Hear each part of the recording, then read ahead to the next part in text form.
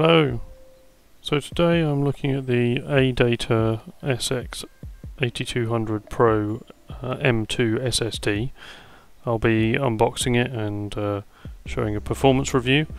So I'm in the process of building a new desktop PC as mine's at least 13 years old and was probably last upgraded in 2011.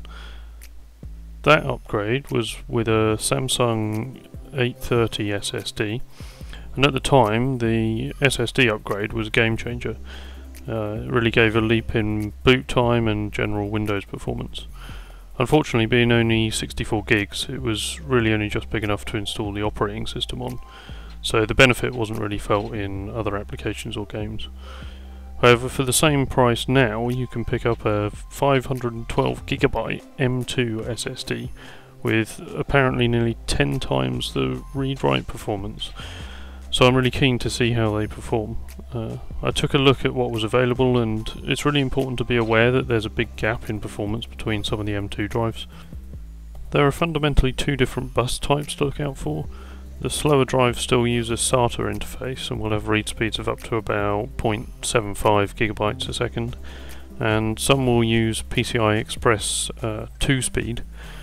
Uh, but for a really fast drive, you need to look out for the PCI Express 4 speed drives. And with non-volatile memory express or NVMe, and these have read speeds up to 3.3 gigabytes a second.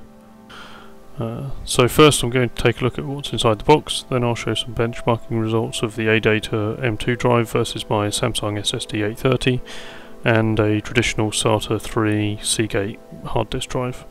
So please let me know what you think in the comments below and if you'd like to see more videos like this then uh, please like and subscribe.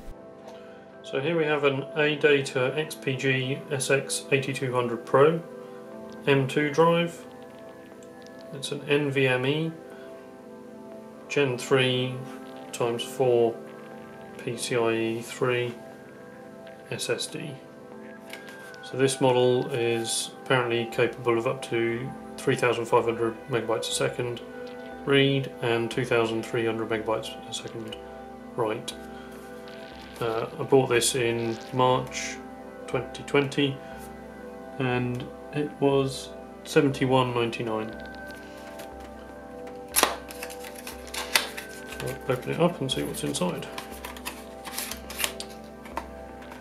Okay, we've got the M2 drive itself and a stick-on um, heat spreader by the looks of it.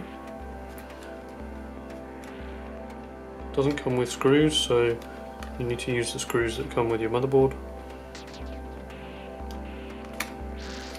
There we go. So now we'll take a look at the performance benchmarks against my other drives and against the claimed max speeds. Uh, the machine this tested on is my new build with an ASRock B450M Steel Legend motherboard, AMD Ryzen 2600X CPU and 16GB of Corsair Vengeance RAM. It was first tested uh, in Windows 7 and then again in Windows 10 using Crystal Disk Mark 7 benchmarking tool. So here we can see the results of my uh, Seagate uh, 750 gigabyte traditional hard disk drive. Uh, it is SATA 2 so in theory it should be capable of up to 3 gigabits per second or 300 megabytes per second but in this case the limitation is obviously the uh, hard drive itself rather than the uh, bus speed. So we can see here that the sequential read speed is about 71 megabytes second and write speed's very similar. Um, so with traditional hard disk drives, uh, the sequential read is always going to be much better than the random read because uh, obviously a disk is spinning and the read head is just moving across the disk as opposed to having to jump all around the disk. And here we can see the Samsung 830 SSD. So it's about 10 years old, I guess. Uh, again, it's SATA 3, uh, so theoretically capable of up to 6 gigabits per second.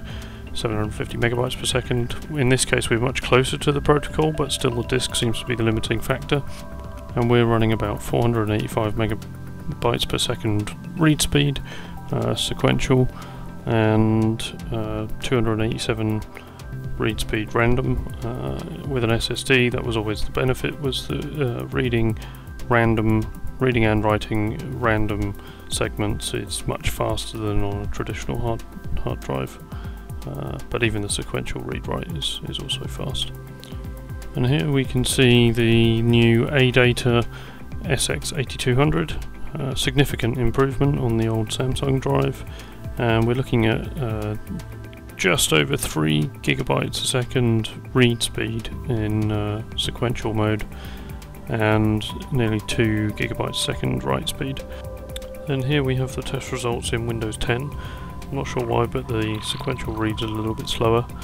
Um, but overall, I would say that this drive, the ADATA SX8200, is uh, really pretty good value for money. Um, since I've been using it over the last few weeks uh, on mainly video editing and kind of copying large files around, it really has been a significant improvement uh, on my old machine. Uh, so yeah, I think, like I say, in March 2020, uh, it's definitely a good value drive. Thanks for watching. Please let me know your thoughts in the comments below, and if you'd like to see more videos like this, then don't forget to like and subscribe.